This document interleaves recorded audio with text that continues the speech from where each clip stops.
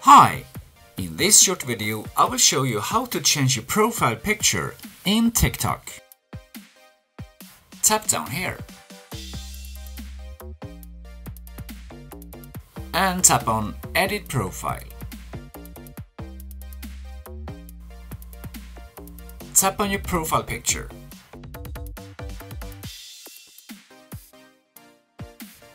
Now you can take a new photo or you can select one from your photos.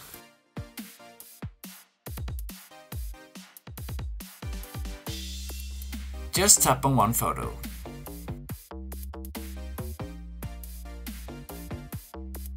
And tap on Confirm.